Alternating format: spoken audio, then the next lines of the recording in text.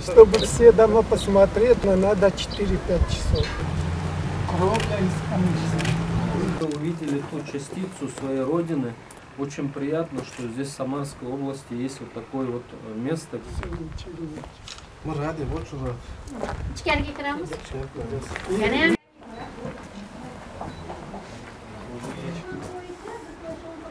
Сейчас, говорит, сидел и всё это, как будто себя дома Да, чувствует. здесь недавно грандиозное открытие этого парка.